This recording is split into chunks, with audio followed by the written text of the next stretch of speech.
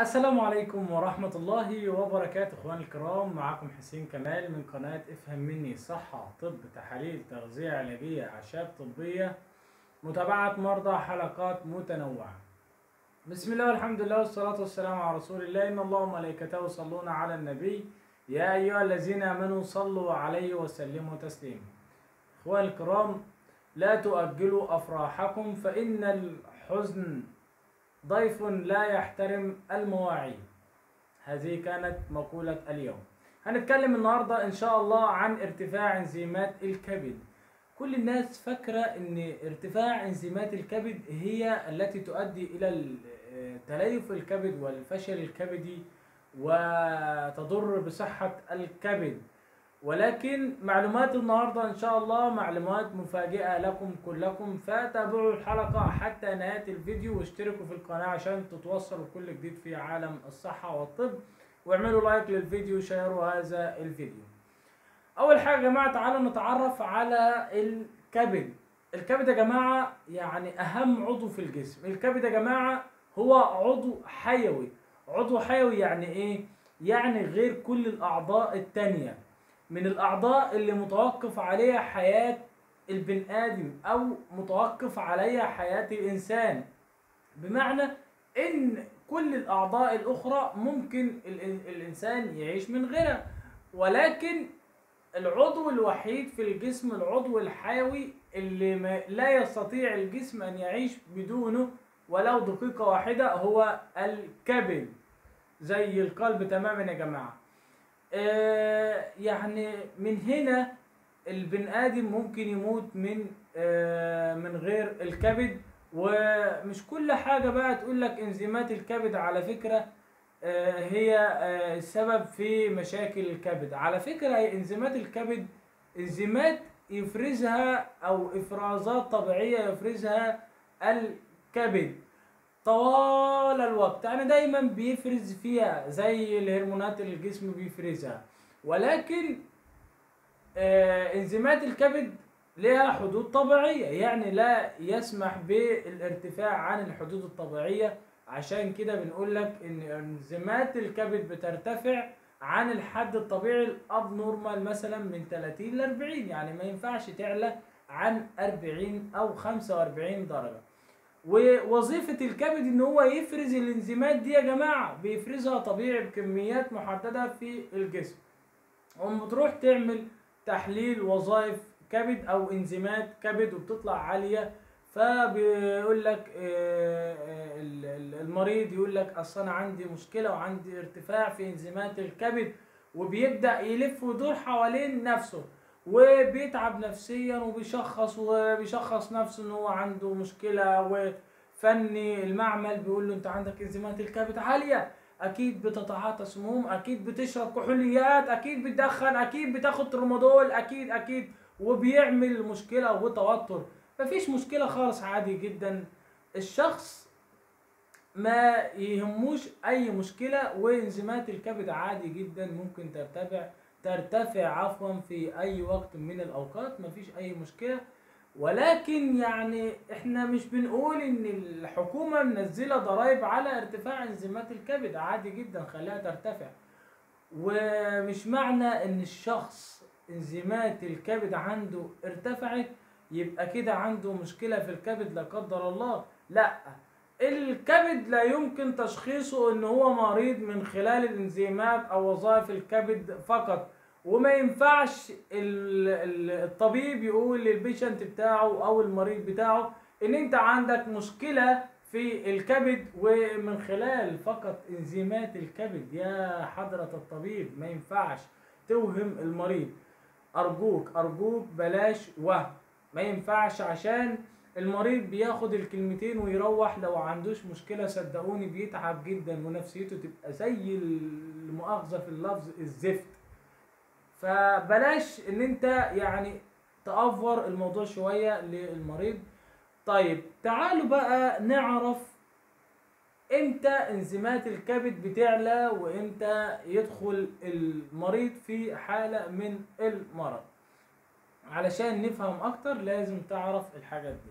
اولا يا جماعة الفيروسات بأنواعها فيروسات الكبد إصابة الكبد بالفيروسات الكبدية المختلفة. إزاي الكلام ده؟ آه فيروس سي فيروس A فيروس B الفيروسات اللي هي بتصيب الكبد هي دي اللي بتعلي الانزيمات بتعلي وظائف الكبد والعدوى بأنواعها. في أي حتة من الجسم حتى لو كانت نزلة برد ضعيفة ممكن ترفع إنزيمات الكبد. السمنة أو زيادة الوزن بترفع إنزيمات الكبد. الدهون بترفع إنزيمات الكبد أو وظائف الكبد.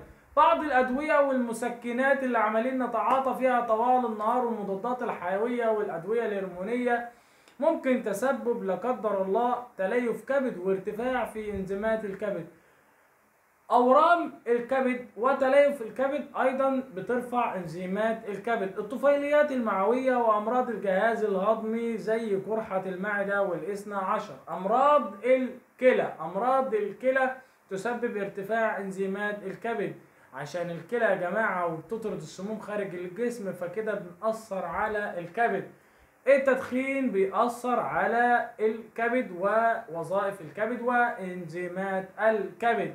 تعاطي الكحوليات والمخدرات. الناس المدمنين يا جماعة الناس المدمنين على شرب التدخين على التدخين على الشيشة. آه، طول الليل بيشيش تحت البيت في قهوة طالع بيقابلها نازل بيقابلها عامل زي كده اللي هو كل ما يدخل المطبخ يلاقي كوباية شاي يروح شاربها.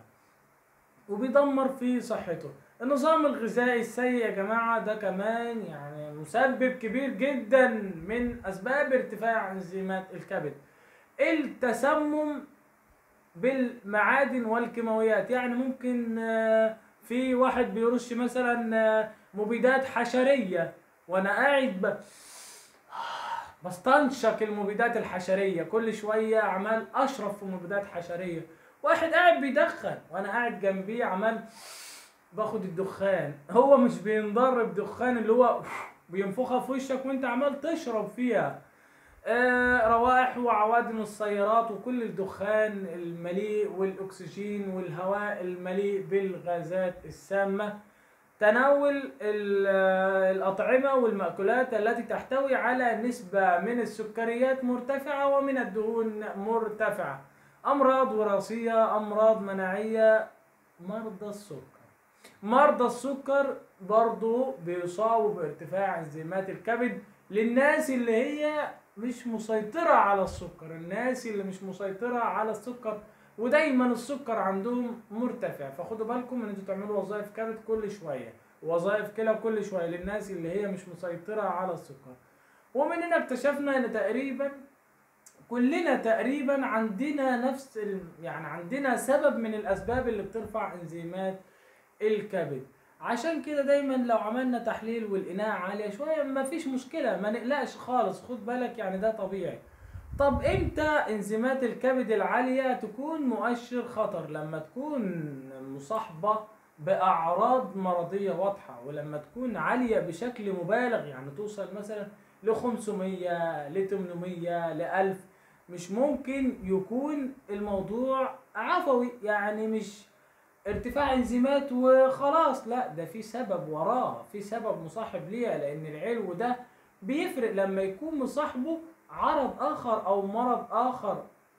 فما يكون مش بسيط الموضوع ده وبيكون يعني ناتج عن إن يكون صاحبه مثلا بيدخن أو صاحبه سمين شوية وبي آه، انزيمات الكبد لما لما لما يكون واحد سمين شوية وعنده شوية دهون بيعلوا إنزيمات الكبد فالموضوع برضو بيكون عادي لأنه عنده البروتين عالي وعنده الدهون عالية بتعلي إنزيمات الكبد. إنما لو ارتفع الكبد وارتفعت معاه أعراض أخرى زي التعب والإجهاد والإرهاق وفقدان الشهية ونقص الوزن وتورم الجسم وانتفاخ البطن وعدم التركيز وإلى آخره والهرش يا جماعة من الأساسيات وتغير لون البول والبراز واصفرار لون الجسم وبياض العين اصفرار بياض العين. ده بقى ما يعديش. لازم فحوص وتحاليل وإشاعات عشان نعرف السبب فين اللي علّى إنزيمات الكبد ر- رفع الحاجات دي كلها معاه والأعراض دي كلها معاه. فيا جماعة إنزيمات الكبد لوحديها مش مشكلة. مم، مش عامل مش عامل إن هو يأثر عليك ويخلي عامل العامل النفسي عندك آه، وحش. لا لازم يكون مصحوب معاها أعراض أخرى ما هياش يعني تتعدى كده بالسلام. آه، فإنزيمات الكبد ملهاش لازمة لو هي مرتفعة لوحديها. فعايز أقول لك بقى شوية نصايح.